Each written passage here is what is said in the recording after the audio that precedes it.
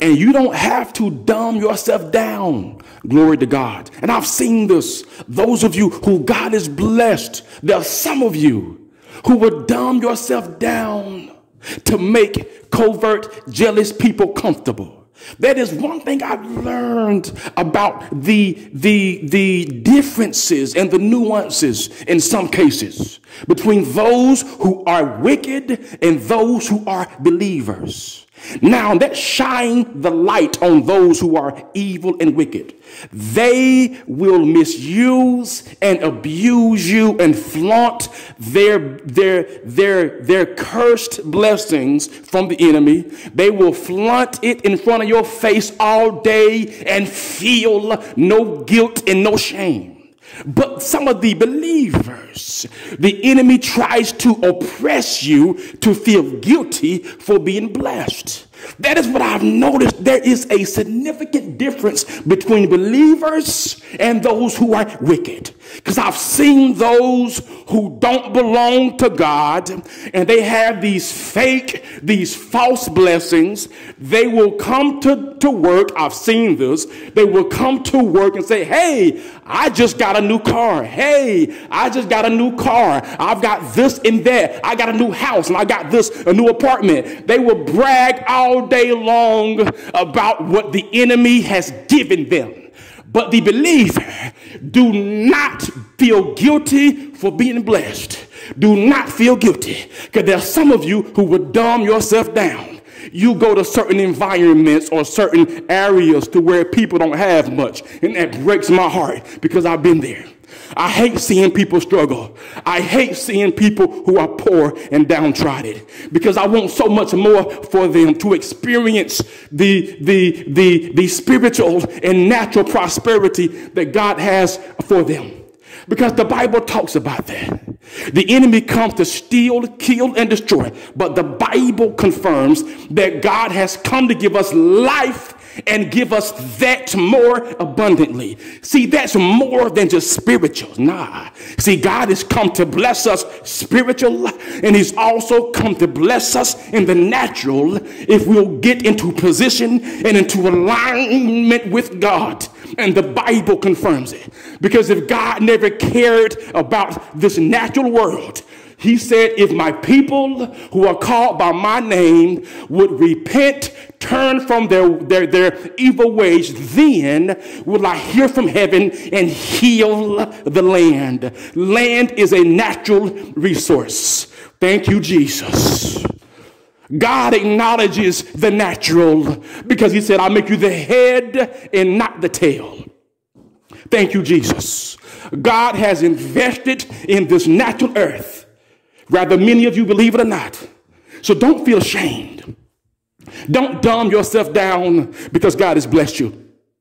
Because there are some people who will say, Well, I'm not going to dress like that around them because they're poor and they're downtrodden. I get humility. I understand because I've been there. There are some people you know, men and women. I'm not going to drive this car because I don't want to offend them. I'm going to drive my, you know, my, my uh, lesser value car to make them comfortable.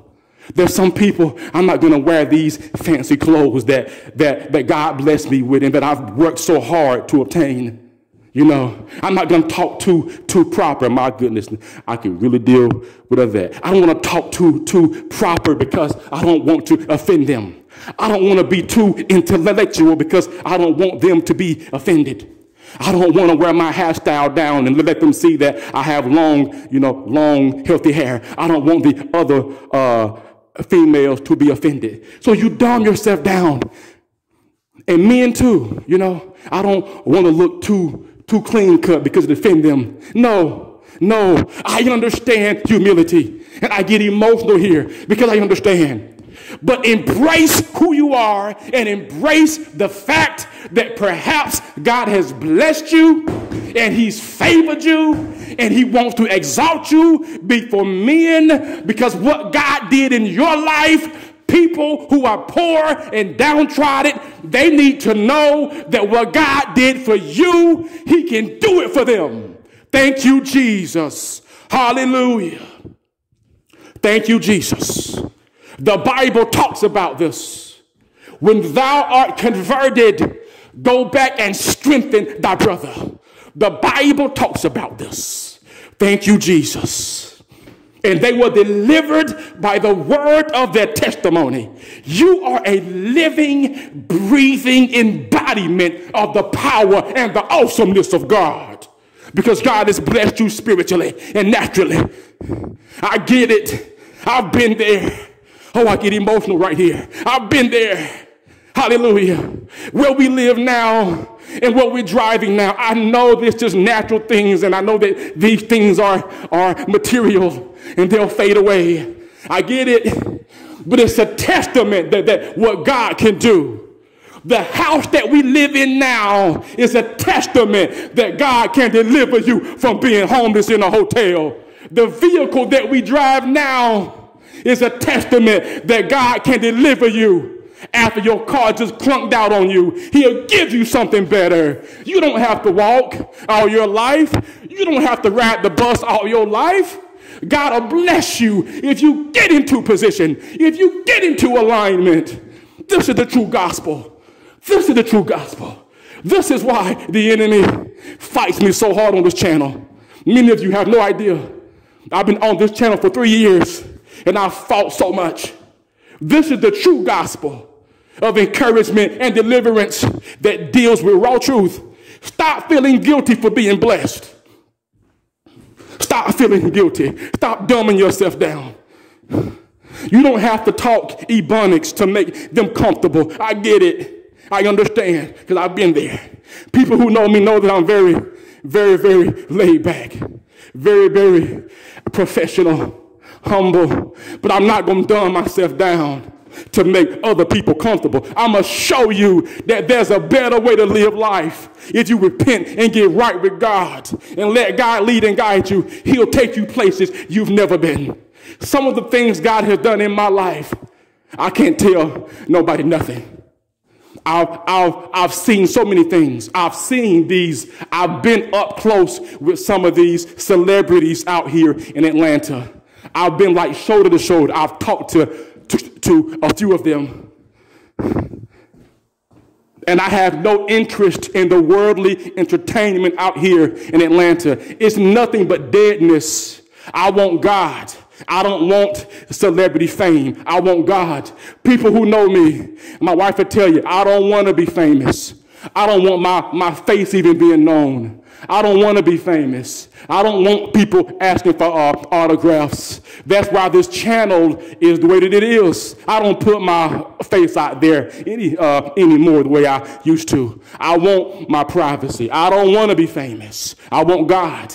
I've always been like like like that, keeping a low profile and taking care of my family.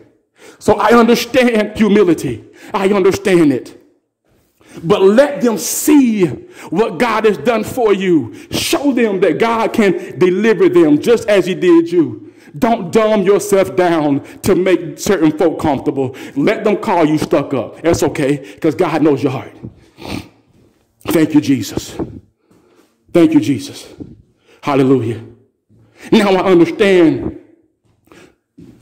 when the Bible talks about people, man looks at the outside but God looks at the heart. I understand now. Because all of the blessings and breakthrough that many of you have, God is looking at the interior of your heart. He knows your motives. That scripture was not a, a, a, a excuse to wear provocative clothes. No, that's not what that scripture was. God sees the heart. Men look at the exterior, but God looks at the interior. He knows. So you embrace who you are. Thank you, Jesus. Hallelujah. Man, I feel God on this one. Thank you, Jesus.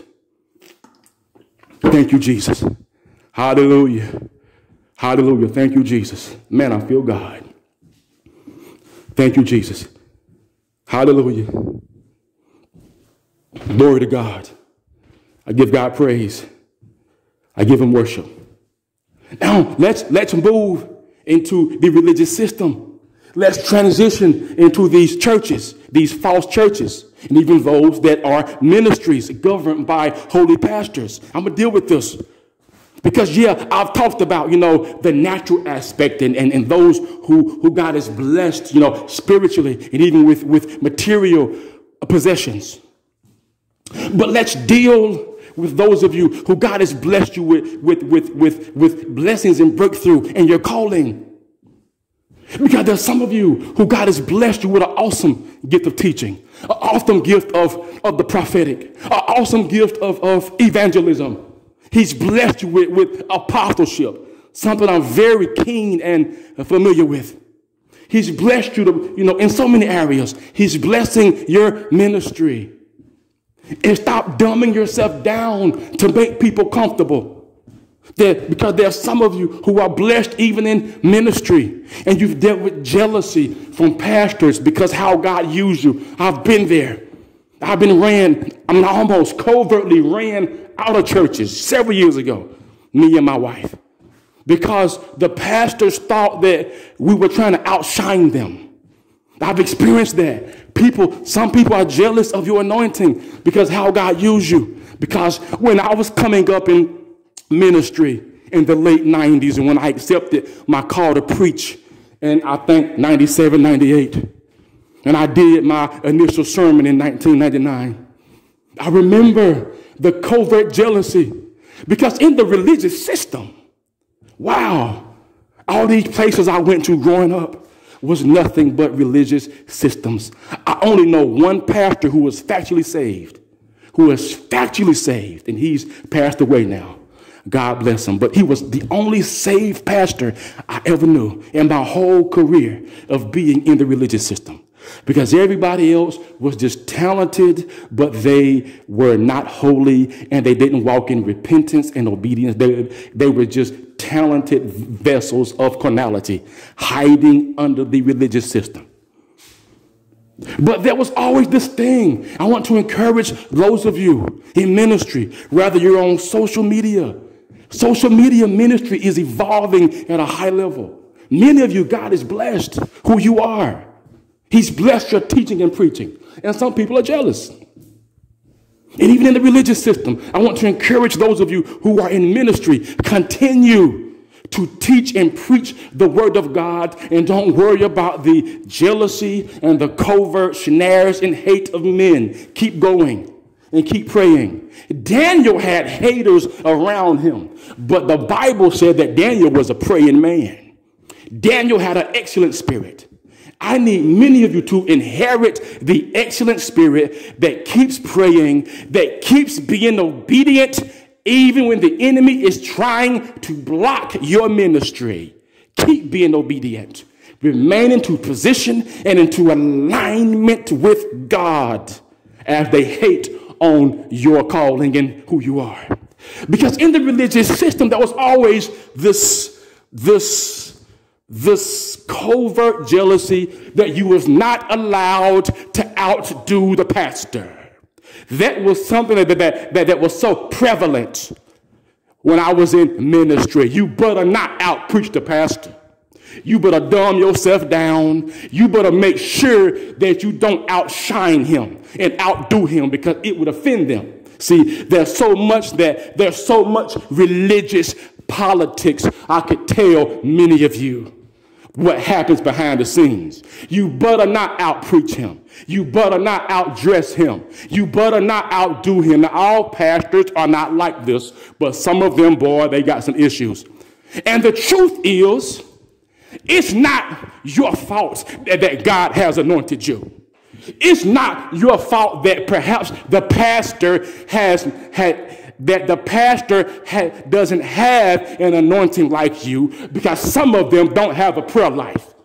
Oh, I'm going to deal with, with this, and I'm going to say it boldly. It's not your fault that the pastor is carnal. It's not your fault that the pastor didn't seek God like you. It's not your fault that the pastor chooses not to deny his flesh. It's not your fault that the pastor doesn't have a prayer life. It's not your fault that that and I'm going to say it boldly. It's not your fault that, that, that some of these pastors just can't teach and you just can't preach because some of you pastors are not anointed by God. Yeah, I said it. And I'm going to say this too. with the unction of the Holy Spirit. Some of you, I don't care how large your YouTube channel is, some of you are not anointed. I don't care how big your church is in your mega religious system down there in Texas. Yeah, I said it. Some of you are not anointed, and the power of God is not with you. The only thing that many of them have is religion and a bunch of religious people with itching ears building them up. But in reality, they have no anointing because the presence of God is not with them. That's why the Bible says that wherever the presence of God is, there's freedom, there's liberty. That's why they're not changing because the pastor doesn't belong to God and he does not have enough power to push people into repentance and holiness. That's not your fault. And I say it boldly many of them are not even anointed. So don't dumb yourself down to make them comfortable. Embrace who you are. God has called you, He's anointed you. Quit dumbing yourself down and embrace who you are. But let me shift gears. Some of you, God has blessed you not just with, with finances and, and, and, and, and, and just ministry. Some of you are intelligent. You're very smart. God has blessed you. And I'm going to deal with this. Stop feeling guilty because God is giving you blessings and breakthrough of intelligence. Stop. Some of you, they, they call you nerd. They call you a nerd. They call you a bookworm. And I'm going to deal with this. I'm going to go back to the arena of African Americans because that's what I know. And I say some African Americans are, are like this, not all. Some of you, God has blessed you with intelligence. And people will tell you that some African American people who are smart and, and intellectual and very astute and they articulate their words very proper, but they're still you know, they're still people who love God. They're still down to earth and they're still relatable. But God has blessed them with so much intelligence. There will be certain demographics of African American people who will say that you're acting white. Oh, what an insult. To say that intelligence is a byproduct of being white. Oh, man, that's crazy. I can't even name how many, how many unintelligent, uninformed white people I've came across who, who spoke in this country ebonic language stuff. So we have to stop that. Because every, Cauca- every Caucasian person is not intelligent. That's a fact. Now, I'm saying this to say this, and I've met several smart, intellectual Caucasian people. Oh, I have. And I've learned so much from stocks, investments. I mean, a lot. But I use that as an example to say that quit thinking that intelligence is a byproduct of white people because it's not. Intelligence comes from intelligence comes from God. Intelligence is what it is. It comes from God. So if an African American person is articulating their words and God has blessed them tremendously. Stop saying that, would you please stop acting white? That's an insult. That's an insult to, to the majesty of, of Almighty God. Because intelligence does not come from white people. Intelligence comes from the Creator our spiritual covering, our Father, our protector, the creator of heaven and earth and all of us. It comes from God. I would feel better if they said, You're acting just like God, talking all proper. But that's what some of them do. And some of you have dumbed yourself down because God has blessed you. You don't want to read a book around them because they get offended. And I've seen this. Oh, you're acting white. They're reading a book. They're trying to be a white. Why do we have to be put in this cage? Why do we have to be so limited? So I want to say this to many of you stop dumbing yourself down to make people comfortable. God has blessed you. He's blessed you. And even some of you, He's blessed you with a beautiful, loving family. Embrace that. Embrace it. Stop feeling guilty. He's some of you, he's blessed your children, he's blessed your marriages, he's he's blessed your your your your business endeavors. Don't feel guilty. Don't feel guilty. And let me deal with this before I close. Glory to God. Thank you, Jesus. Hallelujah.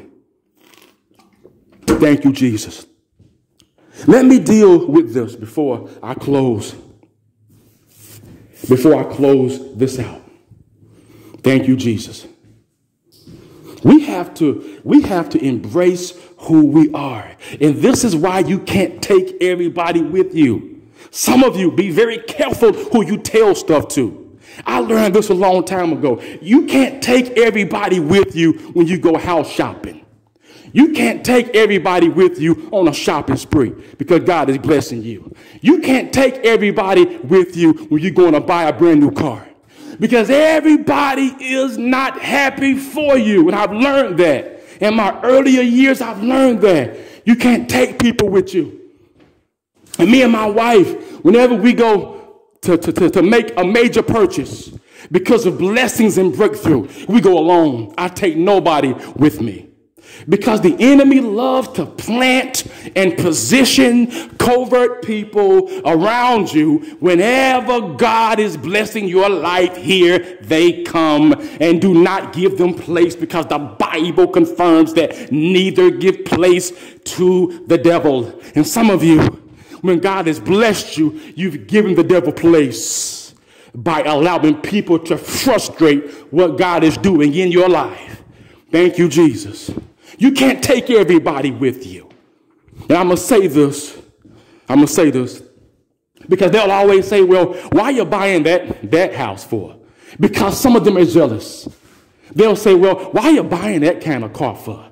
Some of them are jealous. They'll find any reason. You like it, you, you, you're pleased with your purchase, and they'll say, why you buy that type of couch for? Why you buy that for? Because they're jealous. They're, some of them are miserable. And do not give them the keys to set up shop of jealousy in your life. You can't take everybody. You can't take everybody with you. Glory be to God. I said that way. You can't take everybody with you. There, there are some people who the enemy will send your way when God is blessing you. Have you wondered why? That as soon as God begins to bless you and open up doors for your life, here they come. Here they come. Here comes a text message. Here comes a phone call. Here comes adversity. Here comes spiritual warfare. Here comes every devil available to torment your life because God is blessing you. And that's why so many of you are experiencing aggressive spiritual warfare right now because God is blessing you right now. Even as I speak, some of you, God is going to blow your mind. I feel this one prophetically. Some of you, God is going to bless you with spiritual and natural abundance, and you are going to be blown away by what God is going to do in your life because there's a scripture that says, For I reckon the sufferings of this present time cannot be compared to the glory which shall be revealed unto you. I want you to understand that your blessing is going to overtake take you. And when it does, I hope you remember what I said and what God is using me to confirm in your life. Thank you, Jesus. The enemy is afraid of where God is taking you. He's afraid. And that is why whenever you come close to breakthrough, you will notice spiritual warfare begins to increase. You will notice that there will be, marital issues for some people. There will be relationship issues and, and family issues and, and, and issues with your children. The closer you become to spiritual and natural breakthrough. I don't mean just cash. Nah, I don't mean just money. Because see that money's good. I thank God for it. He'll give it. He'll make you, you wealthy with no sorrow. He will make you the head and not the tail. But sometimes he'll do spiritual things in your life that transcend just natural wealth. He'll give that because the Bible talks about it. And my God shall supply all of our need according to his riches in glory through Christ Jesus. That word confirms that God will take care of our physical attributes on this earth. The Bible speaks of it. But some of you, he's blessing you not only financially, oh man, but he's blessing you spiritually. Because some of you, He's going to bless you because you chose to not give the enemy your soul in exchange for wealth. I'm going to say this too. There's some of you, God blessed you because you turned down the wealth from the enemy. And I'm going to say this because down here in Atlanta, it's a lot of that. I'm very familiar with the TV and the film industry out here in Atlanta. Very familiar with it. I mean, extremely familiar with it. There's a bunch of people who would give their soul to demonic stuff in exchange for wealth. But some of you chose not to bow down to Satan for wealth. It's a powerful thing when we say no to the enemy and we be patient and get what God has in his hands and still have our soul intact. That's powerful. There's something about being blessed by Almighty God, but I still have my soul intact. People who know me know that I'm not, I don't lust for cash. All I want to do is take care of my family and make sure they have all they need. But I will say this it is a blessed place to be in, to be blessed spiritually and naturally and still be in position with God and still have your soul in the safety and the confounds of the kingdom of God. Hallelujah. That's a high place to where God is blessing you spiritually and you still love, love God and you have natural and, and natural dominion in this earth and you still have possession of your soul. Glory to God. I want you to understand that whatever the enemy is trying to give you in exchange for your soul, God can give you greater if you be patient, if you wait on Him, if you repent and turn from sin and get into alignment with the presence of God. He'll give you greater. He'll give you wealth without sorrow and not these temporary, shallow blessings of wealth from the enemy in exchange for your soul. Because the Bible confirms that what profit a man to gain the whole world only to lose his soul. The rich man, and Lazarus is a prime example of that. The rich man had everything in the natural realm. And Lazarus uh, uh, begged for the crumbs off his table. The rich man lost. He lost. Though in the natural, the rich man had everything. In the spirit, he was bankrupt. Don't fall for the wealth of the enemy. The wealth of God is greater. In my closing, God is blessing many of you. I'll say this again embrace what God is doing in your life and where God is taking you. Embrace, embrace it.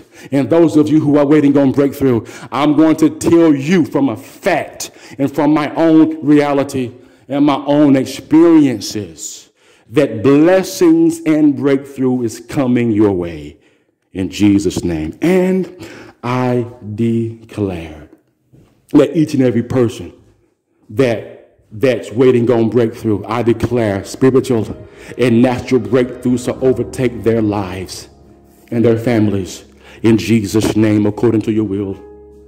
I declare that encouragement and deliverance to locate every person that's that's that's waiting, everybody that, that has heaviness of heart, that's waiting on breakthrough, spiritual and natural. I declare them to locate them in the mighty name of Jesus. I declare now to everybody that's currently received the breakthrough, that they shall embrace and celebrate what you're doing in their lives and not let the enemy to cause them to feel guilty in Jesus' name. I declare that every stronghold and every attack, every weapon of the enemy that's trying to block or bring frustrations, because of the blessings that are going to be released into the lives of your people. I declare these weapons of the enemy has been cast out by the consuming fire of God in Jesus' name. I declare that, that, that they will continue, oh God, to walk in humility. They will continue to walk in wisdom by not giving the enemy place in their lives through people or family members to frustrate the blessings that you have in store for them. In Jesus' name, God, I thank you Father God, I thank you in advance for blessing your people like never before. I thank you for a financial transfer, a financial shift that shall happen into the lives of your people according to your will in Jesus' name, that we be able to not only take care of ourselves, but help the poor and those in need and make a difference in this world. In Jesus' name we do pray. Amen. Amen. Glory to God. Thank you, Jesus. That was the word of the Lord this day. I hope and pray that something encouraging was said or mentioned that would make an impact in your life. Again, thank you so much for dropping by the Deliverance and Breakthrough channel. I will continue to make spiritual content as God leads, and always remember until next time, no weapon formed against you or your family shall prosper.